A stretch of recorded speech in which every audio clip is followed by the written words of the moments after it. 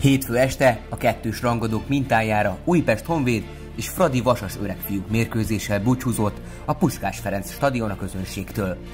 Az 1953-ban átadott létesítményben számos nagy csatát megvívott labdarúgó csapatunk, 1964 és 1974 között az FTC a hazai mérkőzéseit az egykori Népstadionban játszotta, de ide vonultunk albérletbe is a Grupa Marina megépüléséig. Az esemény kapcsán mindenki szívesen idézte fel a számára kedves népstadionos emlékét. Jó eredmények, meg szép eredmények, színhelye volt ez annak idején.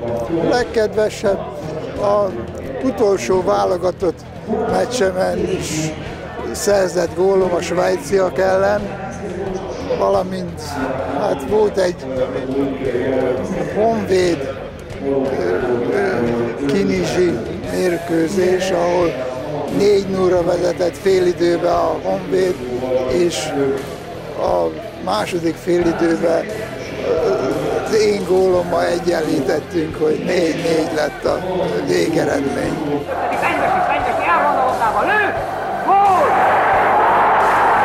75 elején játszottam itt először, és utána ősszel 75 szeptemberében első válogatott mérkőzésem itt játszottam ebben, ezen a stadionban, ezen a pályán.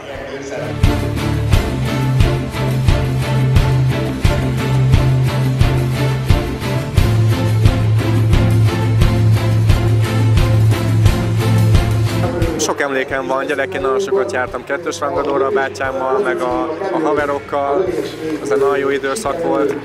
Utána sikerült válogatottba is itt bemutatkozni, rúgtam a svédeknek egy, egy szép gólt, Fradival ünnepeltünk itt bajnoki aranyat, úgy összességem nagyon szép emlékek kapcsolódnak a, a Népstadionhoz, a Puskás stadionhoz. Lisztes rálövi messziről, gól! Egy-egy! Lisztes! Öt svéd helyzet után egyenlít. Olyan, mint az első, ugyanazt a uh, mocorgást éreztem magamban, a izmaimban, gyomromban, ugyanaz a remegés előjött, ami a régi 84-es időszakban. Minden uh, kettős rangodó szenzációs volt, és ugye ráadásul annak idején még a válogatott meccsénket is itt játszottunk, úgyhogy minden egyes fellépés az ünnep volt itt számomra.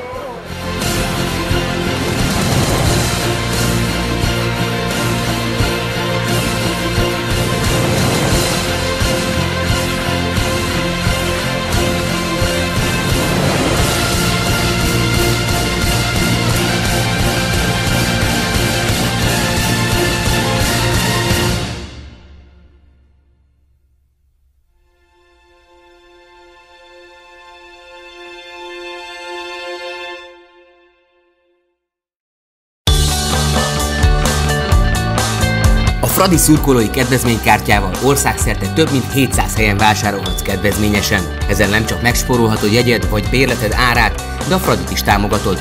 Élj meg minden vásárlást győzelemként!